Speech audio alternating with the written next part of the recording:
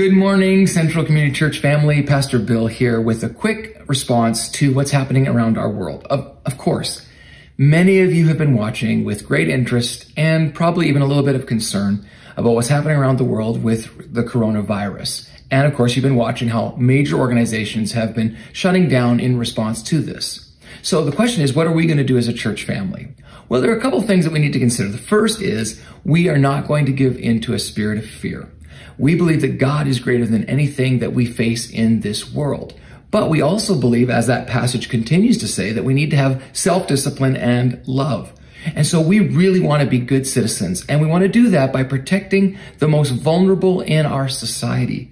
And we just feel the best way that we can do that is to honor the ban that a lot of organizations are putting in large gatherings, just to protect those who maybe can't protect themselves. And so love is driving this decision, not fear. So as a result of that, we have decided that we are going to offer our experiences this Sunday online only. There'll be no formal gathering, but all three experiences will be online and our online pastors will be available to answer any questions that you have and pray with you if you would like.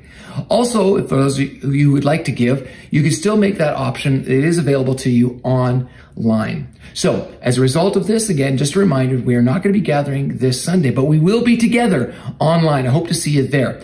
As well, we're going to cancel all of our groups this week. It is the last week of our groups before we uh, close that session till after Easter. So we will be regrouping again after Easter. So just to let you know that. Also, our pastors are available to you if you want to call or meet them online. We can even figure out a creative way to, to connect with you via video if that is your choice. We're here to serve you to the best of our ability. We're also going to take advantage of this Sunday to clean the building professionally from top to bottom and make sure that it is a safe environment for you and for your family and those that we love.